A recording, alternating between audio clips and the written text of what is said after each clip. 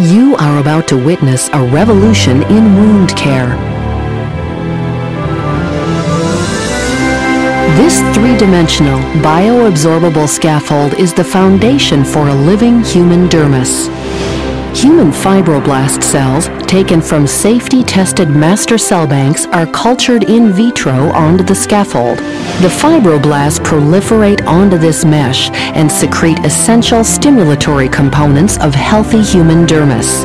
Growth factors, collagen and other matrix proteins, and glycosaminoglycans.